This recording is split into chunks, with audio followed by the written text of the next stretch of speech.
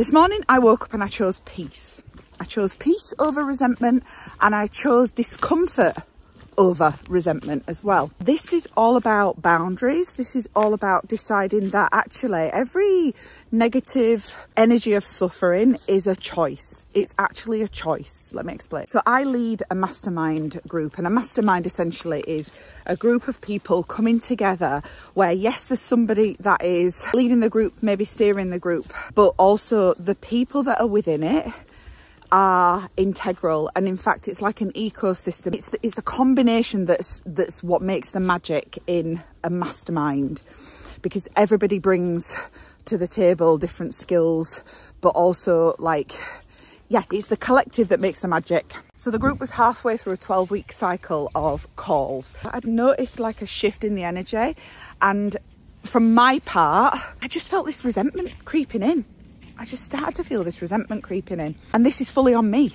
This is absolutely 100% fully on me because I'm leading that group and I need to decide not only what I can bring to the table, but what feels like a clean energetic exchange. And so as I felt this resentment starting to build yesterday, I was like, I have to do something about this. I, I have to decide to not feel resentful because I'm putting myself in this place I'm saying that I am available for it or do something about it. This is really like personal and professional boundaries 101. When people put boundaries in place, it is for the person putting the boundaries in place. It's not for the other people. It's your job to uphold, maintain and enforce your boundaries. And if you don't, how are other people to know what's okay and what's not okay. They're, they're to follow your lead. You set the tone. So what I decided was if I'm feeling resentment, I am allowing something within me to be crossed. Now, in this particular instance, the, the people weren't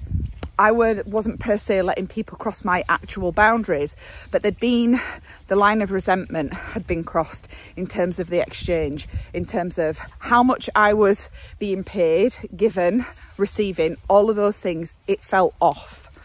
And so I woke up this morning and I was like, I have to have a courageous conversation. I have to have the conversation where I talk about what I'm available for and what I'm not available for. And what that has looked like today is I initially thought that I would suspend the continuation of calls in the group.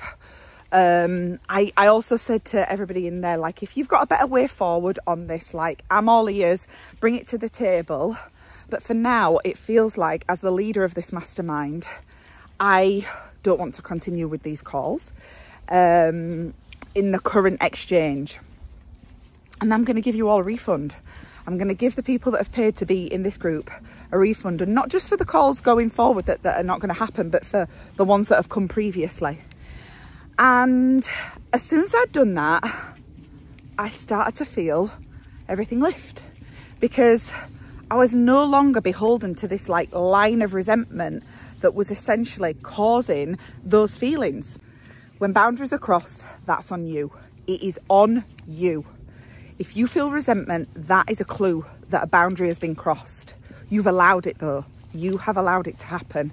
So you either decide that you're going to continue to steep yourself in the feelings of resentment or you take courageous action. You decide that you are going to choose discomfort. And the discomfort is speaking your truth. The discomfort is saying, actually, even though people have paid me already, I still don't have to put up with feeling resentful. Like, I don't have to feel this way. Just because I have been paid does not mean now I am available for things that I'm not available for. And so, I mean, the conversation in that group predictably because it's full of incredible human beings was amazing. Like they fully respected and understood my position and i've issued the refunds. I feel completely different. I feel lighter. I could the resentment has literally just evaporated. People on the other side of this may well be feeling all different feelings about it. Maybe they're disappointed. Maybe they're mad. Maybe they're upset. Maybe like i don't know because i can't get inside their head but what I can do is decide how I'm going to lead myself through this situation.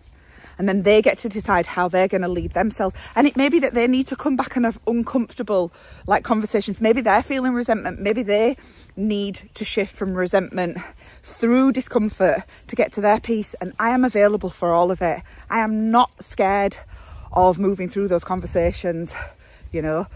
I think also because I'm in there with a group of incredibly emotional, emotionally intelligent people. Um, and, you know, I can see how this can just go backwards and forwards to a point of resolution without it turning into a drama. It doesn't need to. So my question of the day is this. Where are you choosing resentment? Deep-seated, possibly seething. Resentment deep down because you've been paid to do something and now you feel obliged. And where are you choosing to sit in that resentment, to stick with that resentment because you don't want to have the discomfort of a courageous conversation? Where are you doing that? Anytime you feel resentment, you are basically doing something where a boundary's been crossed. And the only person that can uphold and enforce your boundaries is you by saying what you're available for and what you're not available for. And today I told people what I wasn't available for. And a bit like my post the other day, nobody died. Maybe people are going to feel some feels and I'm, I'm ready to, to, to be a witness to that. But also I have to stand in my truth. Today I woke up and I chose peace. Right, catch you in a bit. Lots of love.